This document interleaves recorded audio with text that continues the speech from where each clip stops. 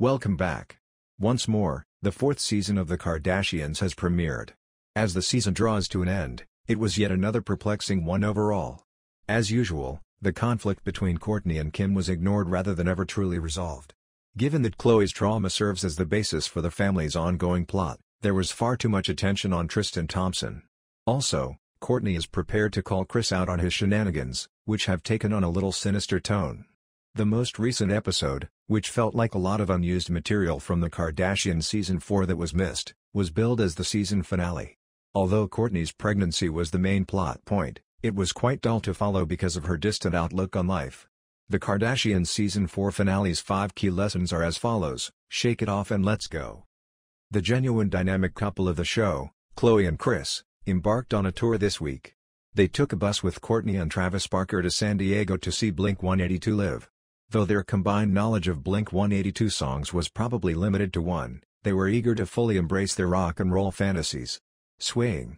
On the way to the show, Kris commented, I'm going to vibe. Kourtney was ready for Kris and Khloe to move on from her, but they were enjoying their life as rock stars. As usual, Kourtney thought her family was being overbearing and demanding. Kourtney remarked, This is why I don't invite you guys to stuff because it's not about you. Everything turns into an individual's desire to accomplish things and their complaints about everything.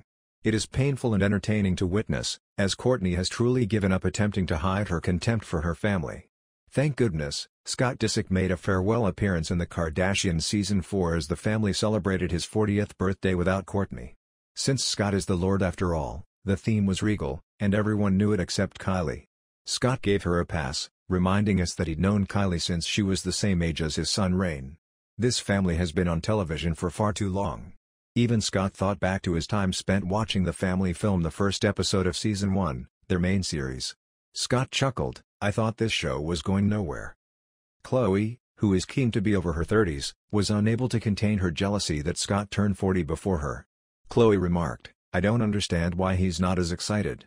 Leave them alone, I don't think his 30s have been fascinating either.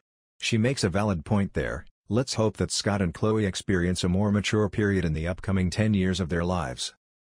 At Heavy Breakdowns, our goal is to make spoilers and behind-the-scenes activities for everyone. We only highlight goods that we know you'll adore just as much as we do. See you eventually on another engrossing review. I hope the video is enjoyable. Please don't forget to like, comment, and subscribe for more videos. Thanks for watching.